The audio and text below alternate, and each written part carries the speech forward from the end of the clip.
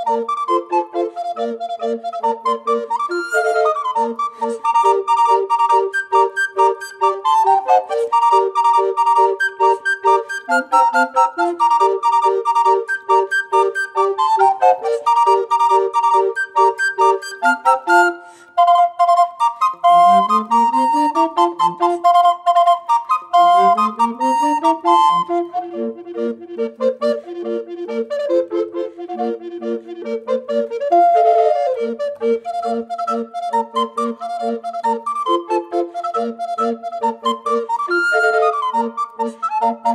how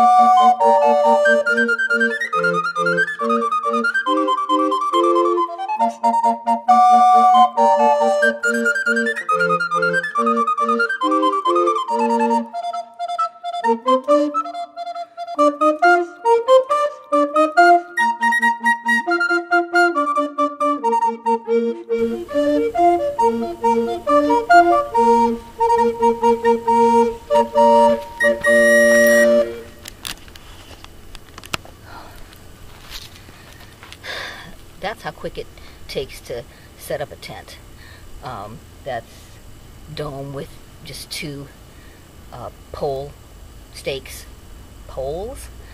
Um, now I set up the little half dome.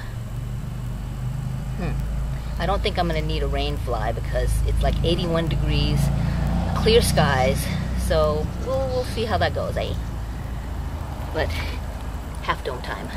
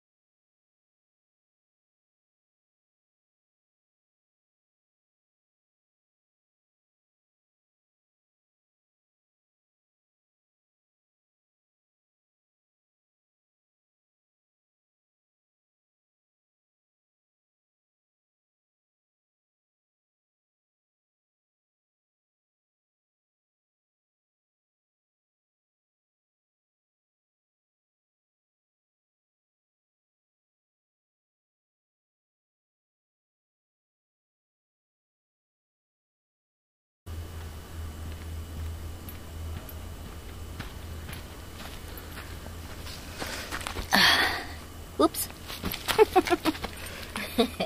okay, so that's the setup for the half dome.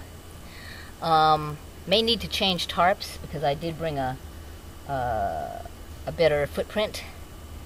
Uh, I wanted to see how big that one was. Uh, so, not bad, not bad.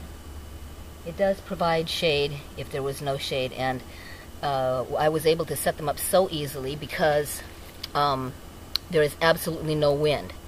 So the circumstances would change as far as ease of setup for one person um, in the wind.